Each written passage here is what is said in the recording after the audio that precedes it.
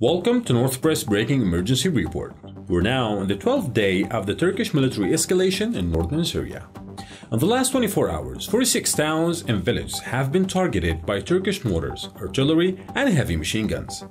Here's what happened 80 heavy artillery shells and 6 mortar shells were fired at multiple villages and towns in the Shahba region, including the town of Tel Rifat. Four villages in the countryside of Tel Tamr were targeted with heavy artillery. 35 heavy artillery shells were fired at multiple villages in the countryside of Zargan, causing material damages to civilian homes in the village of Arab Khan.